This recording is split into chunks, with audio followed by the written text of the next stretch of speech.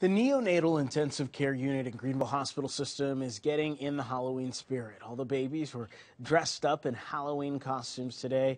We spotted a little girl dressed as a reindeer. Look at how adorable she is. Even a little boy dressed as a zookeeper. We're told the zookeeper costume was inspired by the birth of Kiko the giraffe at the Greenville Zoo. We've had some little sleepers for him, a little pumpkin one and a little monster one and that's been fun and very cute to be able to play dress up with him. But yeah, I think he likes it. very cute indeed.